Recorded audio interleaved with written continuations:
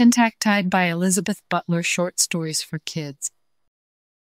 Today we have a book named Tentactied by Elizabeth Butler Short Stories for Kids. I think they're so pretty. I hope you guys really enjoy it. I love it. Please give this video a like if you enjoy it and don't forget to subscribe for more stories. Thank you, reading. So, here we go. The fact he had too many legs annoyed him. Eight, in fact. Eight slimy, swiveling legs that squirmed in all directions. He couldn't keep an eye on all of them. People in the village would yell in the streets while he moved uncontrollably around the pavement. You're too scatty. Control them legs of yours. I can control the same amount of dogs on their leads. Why can't you control your own legs? He sprawled out in the armchair, inside his cottage, away from the world, trying his best to read the newspaper that two tentacles were trying to hold.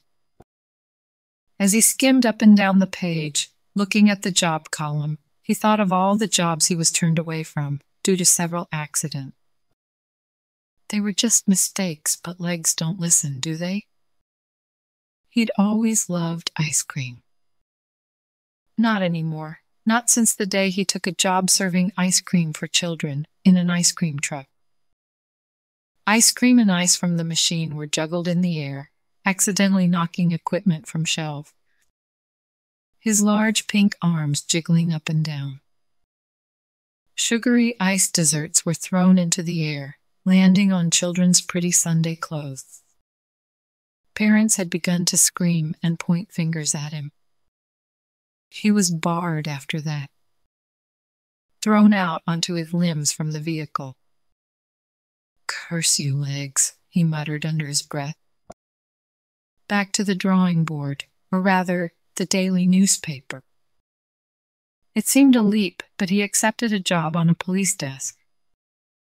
Everything quickly turned from bad to worse as soon as he slid through the front door. The ringing from telephones burst his eardrums. His legs swirled around, trying to find which phone was ringing before the calls cut out.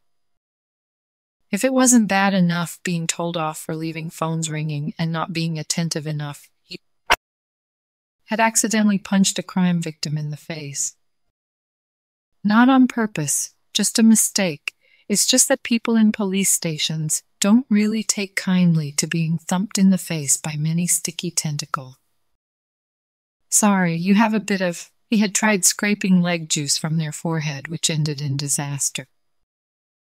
The man's body flew in the air, his legs dangling from the ceiling. His torso balanced on the room fan.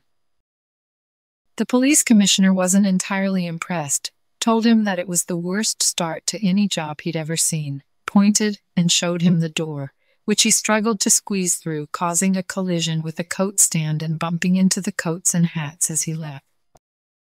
It may have seemed odd, but his next occupation was as a gardener for a sweet elderly woman. One week, and he was settled into the job. He could water the roses with two of his eight limbs, trim the hedge with two others, and plant with the other two. All was well until he was trusted with the lawnmower one day. Things were going smoothly until he accidentally ran over one of the purple pansies.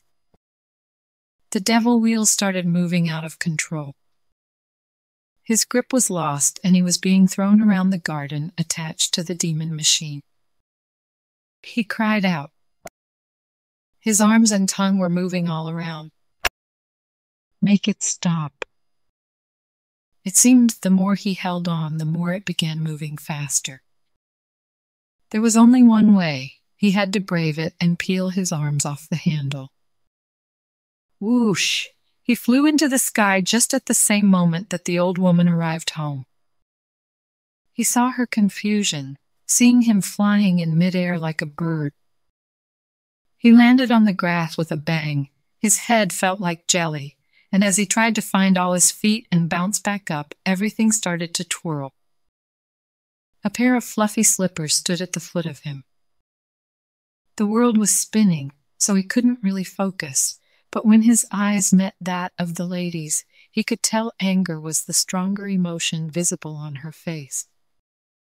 She was tapping her feet, folding her arms, not saying a word. She just pointed to where the now broken lawnmower sat in tiny pieces. There was smoke around the fence where a gaping hole could be seen. That was the last thing he saw before he was sent out and back looking at the job column once more. Again, another job involving flowers, but a florist couldn't be that difficult after all, could it? He had thought wrong. As soon as he had stepped foot in the shop, customers started fleeing. Perhaps his reputation now preceded him. Working on the till, pressing in the numbers, seemed easy at first. He passed bouquets to scared, looking people who didn't know what to expect.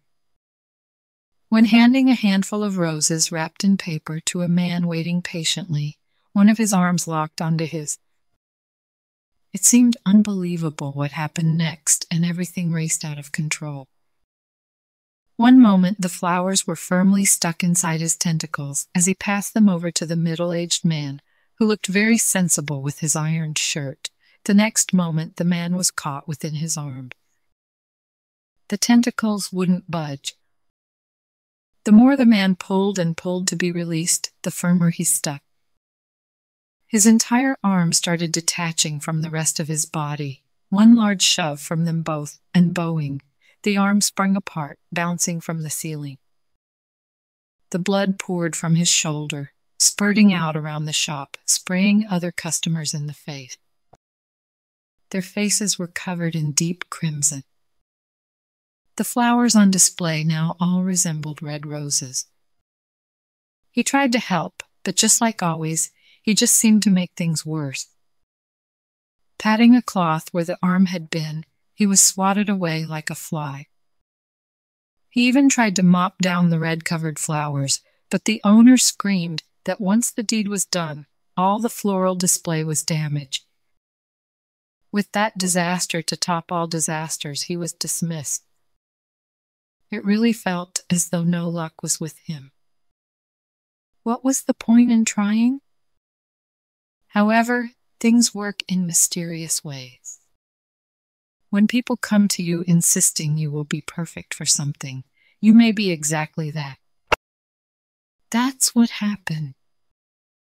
A tall, dark haired man dressed all in black, the only color visible was the deep red that was down inside his cape, saw the tentacles rushing around the streets in all directions. The public dipping and diving, dodging his leggy obstacles. You! There! he cried out, jumping from the shadows. Me? Yes, you. You're perfect. I'm really not. You are just what I'm looking for. And what may that be for? Would you like to work for me? Look, it's a kind offer, really, but I haven't had much luck with job. But this is different. How different? How about being a magician's assistant? Everything was as it should be. No flying ice cream cones or angry victims, no lawnmowers or arms flying through midair, just exactly the job he was made for. Jumping inside tight spaces, squeezing his legs around his head. Not an issue for his sort. They pretended to cut him in two, and magically he would leap from the table. The sound of laughter was a new concept to him as it rang through his tentacles, vibrating. The great thing was he stayed there until he was on his deathbed, just over a year later, surrounded by fans and cheers, but no flowers allowed. Sleep well, my eight legged tentacle friend. The end. Good job, friends. Thank you so much for reading with me. Bye, I'll see you next time.